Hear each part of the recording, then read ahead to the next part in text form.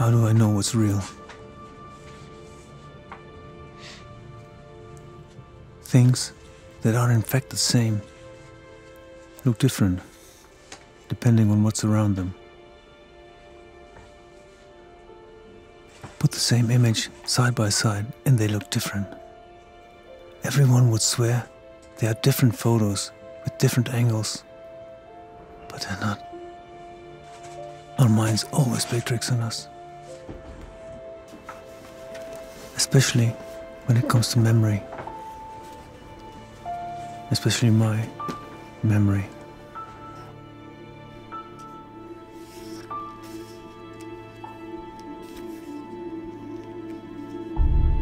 But that can't be right. No one had phones then. They weren't invented.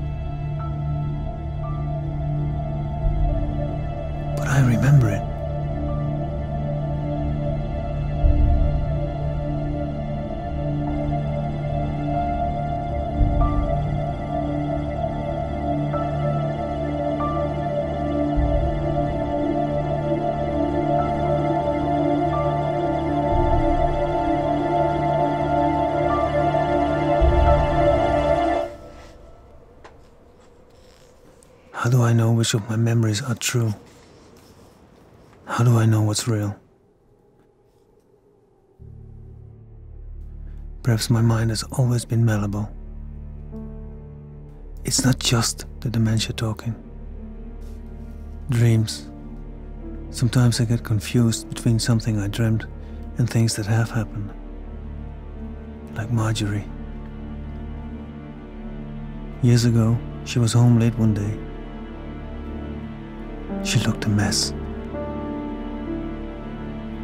It was suspicious. Or was it? I can't trust my memory. She always denied it. But somehow, when I woke up this morning, I knew she'd had an affair that day. All those years ago. I knew it was Jim who she'd slept with. Bastard. She'd lied to me for all these years. I know I was angry, which is why I did it. But was the affair just a dream? Marjorie, it's time for her pills. I found some old drugs in the trunk, back from when we used to get high. I was so angry about that affair. Irrationally so.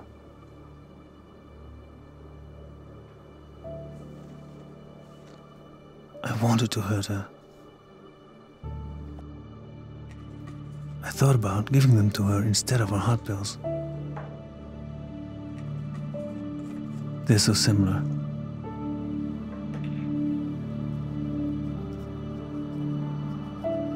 When you place them next to each other, they do look a little different.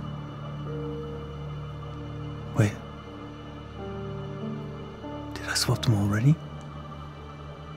How do I know which one is fake?